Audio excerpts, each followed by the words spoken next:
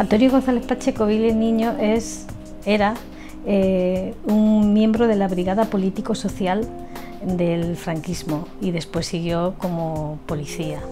Esa brigada lo que hacía fundamentalmente es perseguir a la disidencia. Yo tuve dos detenciones, la primera fue en el año 71, en esa detención no recuerdo quién me interrogó, además no tengo, eh, no tengo el documento oficial, en la segunda y además fue una detención bastante menos, mm, por decirlo así, bastante menos traumática. La segunda fue en el año 73, me detuvieron en mi casa junto a mi mujer, que llevábamos muy poco tiempo casados. Me detuvieron por la noche cuando yo venía para mi casa, pues eran unos chicos jóvenes y iba yo a coger el autobús, entonces me, detuvieron y me llevaron a, a la Puerta del Sol, que es donde estaba la Dirección General de, de seguridad. Y era una persona que, como se ha dicho en repetidas ocasiones, tenía una dedicación absolutamente exclusiva a sus tareas de represión y se destacaba mucho en las torturas. A mí me dieron en torno a los 200 golpes, pero más de 100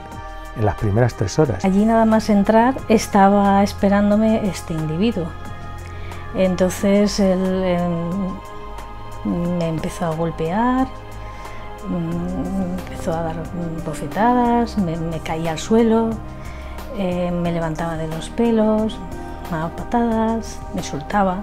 Durante 72 horas estabas en sus manos, bueno, pues para que durante esas 72 horas ellos te exprimieran como un limón y te sacaran todo lo que te pudieran sacar, sobre todo información. Recuerdo sobre todo golpes, recuerdo mm, obligarte a hacer determinados ejercicios físicos para agotarte y eh, el ensañamiento sobre todo en algunos puntos que ellos sabían que eran generaban un dolor que al, al, rato se convertía en insoportable, por ejemplo en las plantas de los pies. En el primer momento de la, detención desataron una violencia extrema. En el camino por la calle Aníbal, pues ahí me empezaron a dar puñetazos y ahí me, me desmayaron. En la comisaría de Tetuán fueron, el gitano que pesaba, podría pesar 110 kilos, era muy grande, muy grande, se me subió encima de las esposas para que se te clavaran. Me llevaron a hacer un reconocimiento de un piso franco que decían ellos, pues iba con tres policías, Billy el niño y yo, por la noche, entonces pues me, me fueron amenazando, que me llevarían a la casa campo, que me violarían, que me harían desaparecer, que mi familia nunca sabría dónde estaba.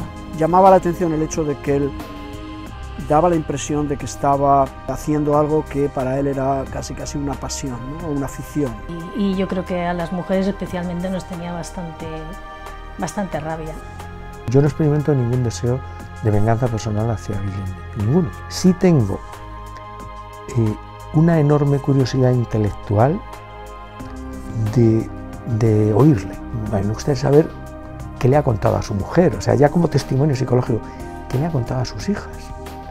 ¿Cómo, si se lo ha contado, claro, cómo lo justifica, por qué lo hacía? Le diría que eh, si ha tenido algún tipo de tratamiento psicológico para superar sus, sus maldades y sus perversiones, ¿no? que yo creo que le hubiera venido bien. Yo lo que quiero es que le juzguen, que le juzguen por, por, por torturas, por ser un torturador.